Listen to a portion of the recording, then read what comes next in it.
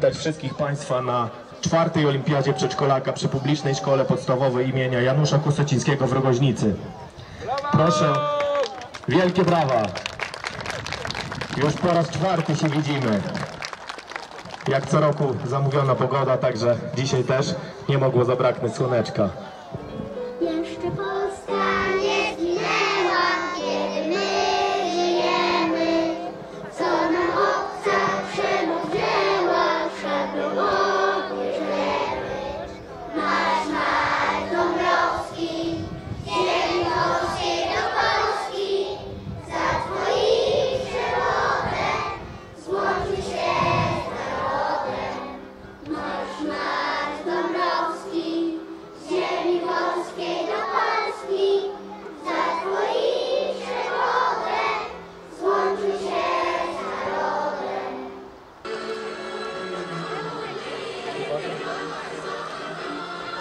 Wielkie brawo! Wielkie brawa! dobry, moi drodzy, witam Was serdecznie. Ja już tak bardzo króciutko, bo już y, najważniejsze jest dzisiejsze spotkanie i Wasze dyscypliny sportowe. Cieszę się bardzo, że po raz czwarty tak licznie uczestniczymy tym wydarzeniu. Jesteśmy dumni z tego, że zechcieliście przyjąć po raz czwarty zaproszenie i uczestniczyć w naszej dzisiejszej olimpiadzie. Życzę Wam fajnej rywalizacji sportowej, to po pierwsze. Po drugie fair play. Po trzecie bawcie się dobrze. Czwartą olimpiadę przedszkolaka uważam za otwartą. Wielkie brawa!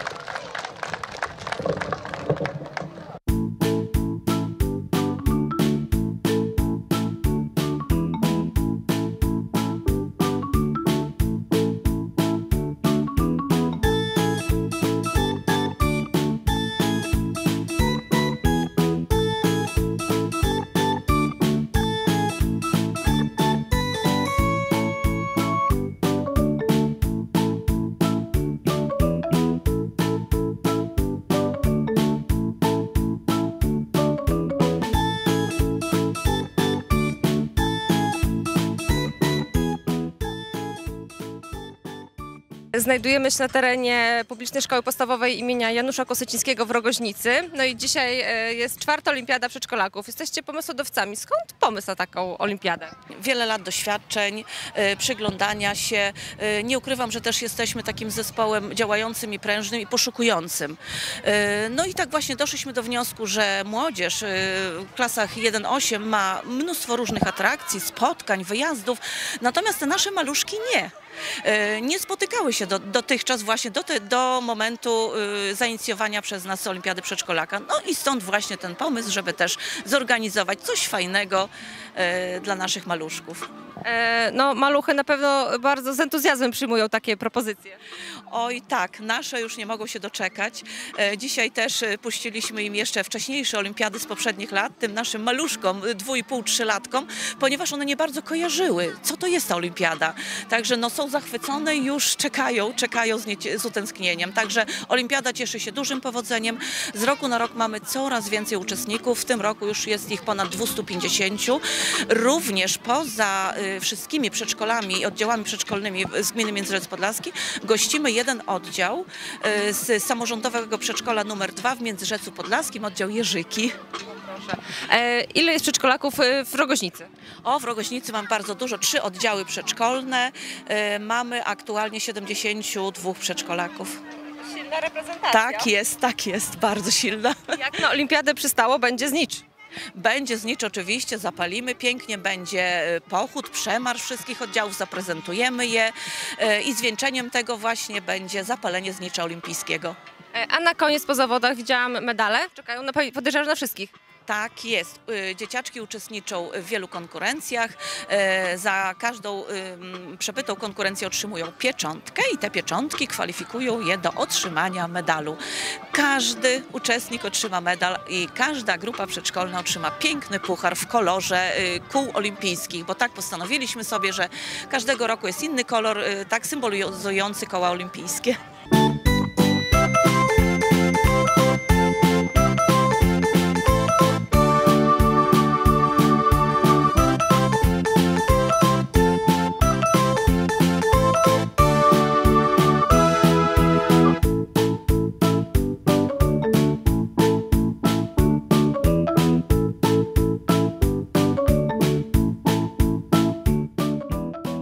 Znajdujemy się w Rogoźnicy na Olimpiadzie Przedszkolaka. Gmina Międzyrzec Podlaskie od najmłodszych lat dba o formę e, swoich mieszkańców. Tak, bardzo się cieszymy, że ta inicjatywa, która zrodziła się 4 lata temu, e, przyjęła się i rokrocznie gościmy w gościnnej Rogoźnicy, w szkole podstawowej w Rogoźnicy, przedszkolaków z terenu gminy Międzyrzec Podlaski, zarówno tych z oddziałów przedszkolnych, jak również e, z przedszkola w Rzeczycy. Z ogromną radością e, witamy i dziękujemy naszym partnerom, a partnerami tego wydarzenia jest oczywiście Szkoła Podstawowa w Rogoźnicy, współorganizator, Akademia Wychowania Fizycznego w Białej Podlaskiej. Dziękujemy studentom za sprawne przeprowadzenie e, całej olimpiady jak co roku. E, Koło Łowieckie Ogar, Straż Pożarna e, e, w Rogoźnicy, więc tych atrakcji dzisiaj dla najmłodszych czeka wiele, ale przede wszystkim czeka sportowa rywalizacja. Uważam, że właśnie przekazywanie takich wartości jak e, współzawodnictwo, jak samodoskonalenie, jak chęć zwycięstwa kształtuje młodego człowieka, a wszystko odbywa się w oparciu o zasady fair play. E, Ważnym elementem tego wydarzenia e, jest wsparcie e, Krzny-Rzeczyca, która na terenie gminy Międzyrzec Podlaski szkoleniem sportowym obejmuje ponad e, 200 dzieci, więc e, e, to jest ważny element rozwoju fizycznego, ale również takiego rozwoju duchowego. Dziękujemy Wam za to. Ale również e, ważne jest to, że te dzieci e, e, mają możliwość oderwania się od, e, nie wiem, komputera i zaznania tego e, sportowego, sportowej walki. Pani redaktor, ja pani gwarantuję, że ten bakcyl, który tutaj jest zaszczepiany e, do współzawodnictwa, do ruchu, on się przekłada na e, e, życie ich codzienne. Pewnie tak, każdy z nas boleje nad tym, że ten dostęp do mediów e, zabiera, zabiera dużo czasu najmłodszym. My powinniśmy pokazywać alternatywę, my powinniśmy pokazywać fajną zabawę i pokazywać, jak fajnie można bawić się na świeżym powietrzu, a to jest chyba na, e, najważniejsze. Patrząc po ilości dzieci, gminie Międzyrzec Podlaski nie grozi wyludnienie. Faktycznie status liczebności mieszkańców utrzymuje się od lat na poziomie, a to za sprawą tego, że nasze tereny są terenami atrakcyjnymi również e, do zamieszkiwania. E, Mamy e, okoliczne miejscowości wokół Międzyrzeca, które przyciągają międzyrzeczan, które, którzy osiedlają się, bo tak naprawdę, bo tak naprawdę dysponujemy praktycznie taką samą bazą, tak? E, Wodociąg, kanalizacja, światłowody, e, przedszkole, szkoła. E, W odróżnieniu od szkół miejskich szkoły nasze są szkołami kameralnymi, więc atmosfera jest też w nich rodzinna, co niewątpliwie, niewątpliwie jest plusem, bo w zespołach, w których dostrzegane jest każde dziecko i poświęcany czas jest każdemu dziecku, e, e, oni mogą się zupełnie inaczej rozwijać.